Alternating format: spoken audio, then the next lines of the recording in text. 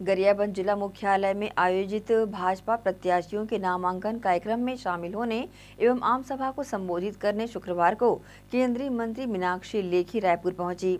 गरियाबंद रवाना होने से पूर्व केंद्रीय मंत्री मीनाक्षी लेखी ने सीएम बघेल के बयान पर जवाब देते हुए कहा कि ईडी और आयकर के नाम से कौन डरेगा, जिसने चोरी की है उसे पुलिस से डरना ही चाहिए। जिसने काला धन अर्जित किया है उसे ईडी और आयकर विभाग से डरना ही चाहिए। देखिए, आप मुझे बताइए कि ईडी आईटी के नाम से कौन डरेगा? और जिसने चोरी किया, उसको तो पुलिस से डरना ही चाहिए।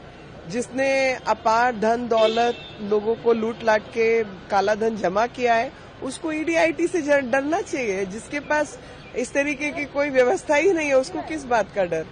हम तो सारी उम्र कांग्रेस की खिलाफत करते रहे, हमारे पूर्वज भी और हर तरीके की प्रताड़ना से आई। हम तो नहीं डरते थे।